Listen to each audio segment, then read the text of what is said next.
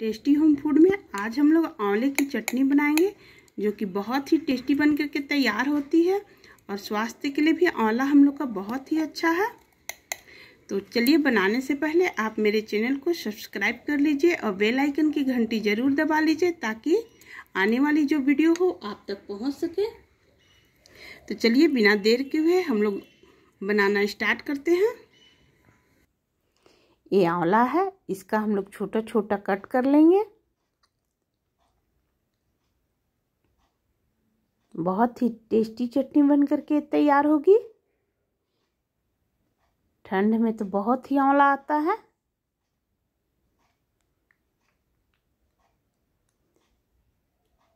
इसका बीज हम लोग को अलग कर लेना है। इस प्रकार हम लोग सारा कट कर लेंगे। अब इसको हम लोग जार में डाल लेते हैं।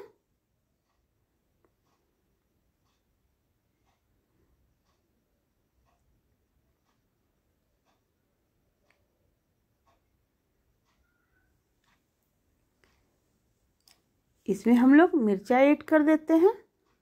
स्वाद के अनुसार आप डाल लीजिएगा और धनिया पत्ती इसमें डाल लेंगे हम लोग। और स्वाद के अनुसार इसमें हम लोग नमक ऐड कर देंगे। इसको ढक करके इसको हम लोग चला के देखेंगे, फिर पानी ऐड कर देंगे इसमें हम लोग।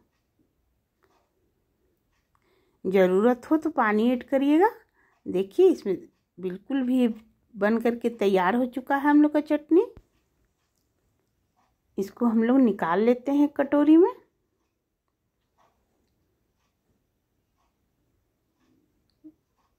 देखिए, बिल्कुल भी अब चटनी भी हम लोग को तैयार हो चुका है। अब इसको किसी के साथ भी आप खा सकते हैं।